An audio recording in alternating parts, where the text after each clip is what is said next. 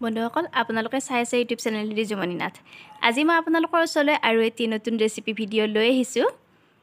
আজি আমি বনাম বংলা মাহৰ সৈতে মাছ। প্ৰথমে আমি মাহ কেইপাতমান ছিঙি লৈছোঁ।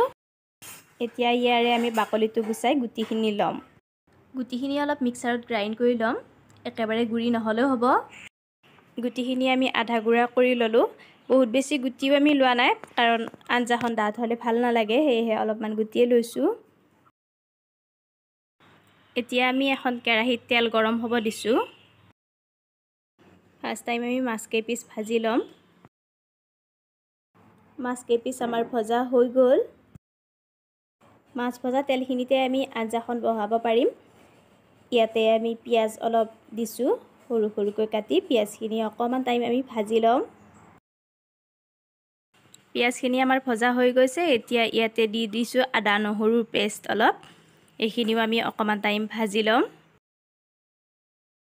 এতিয়া আমি ইয়াতে দি দিছোঁ যিখিনি মাহ আমি গুড়ি কৰি ৰাখিছিলোঁ সেইখিনি। এইখিনি আমি অলপ টাইম ভাজি ল'ম। এতিয়া আমি ইয়াতে দি দিছোঁ হালধি তাৰপিছত সোৱাদ অনুযায়ী নিমখ।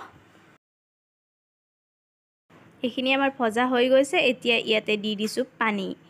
এতিয়া আমি এইখিনি ভালদৰে উতলিব দিম। পানী আমাৰ কম হ'ব সেয়েহে আমি আৰু অলপ পানী দি দিছোঁ। কাৰণ আগেয়ে আপোনালোকক কৈছোঁ এই আঞ্জাখন বেছি ডাঠ হ'লে খাবলৈ ভাল নালাগে। সেয়েহে পনীয়া কৰিবৰ বাবে আমি আৰু অলপ পানী দিছোঁ।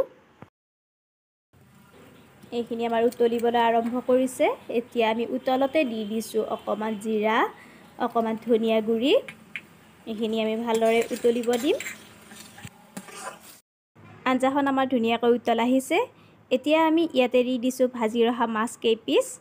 মাছ কেইপিচ দিয়াৰ পিছতো আমি আৰু অলপ টাইম ভালদৰে উতলিব দিম। আঞ্জাখন ধুনীয়াকৈ উতল আহিছে। এইখিনি আমাৰ প্ৰায় হৈছে এতিয়া আমি ইয়াতে দি দিছোঁ মান ধনিয়া সৰু সৰুকৈ কাটি। মান ধনিয়া পাতটো যিহেতু ডাঠ হয় সেয়েহে আমি আৰু এক মিনিটমান উতলাম ধনিয়াখিনি দিয়াৰ পিছত।